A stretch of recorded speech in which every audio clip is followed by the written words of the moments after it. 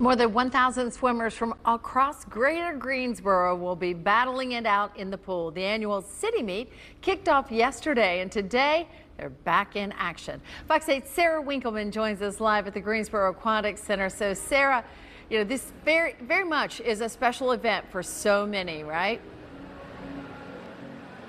It absolutely is. And the thing I keep hearing over and over again today from everybody involved, it's that sense of community, bringing everybody together that makes this event so special to them. Check out already all of the swimmers that are getting warmed up this morning. It is quite a sight to be in here, something that they look forward to all year long. And they're going to start off that competition in just about 30 minutes. Now, there's going to be more than 1,500 kids swimming in the event this year that range in age from 5 years old to 18 years old. The Community Swim Organization starts up the season in June, and it's five weeks of dual meets. Then, to wrap up the season, the City Championship brings the entire Greensboro swim community together for one final big event. The swimmers and their parents agree this is the best part of the summer.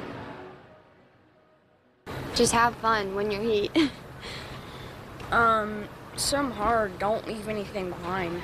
You know, it's the sportsmanship, it's the personal best. Um, it's not about who's coming in and winning first, but it really is about supporting everybody on the team. And there'll be a lot of events happening here today. Butterfly, freestyle, even some relay swims will be going on. So if you want to come and check it out, you can do that today. They'll also be out here tomorrow. And I have to say, you know, I'm new to Greensboro. This is something new to me, and it's a pretty electric atmosphere out here. It's really exciting to be here. So even if you don't know any of the swimmers down in the pool today, definitely come check it out for a good time this weekend. Live in Greensboro, Sarah Winkleman, Fox 8 News.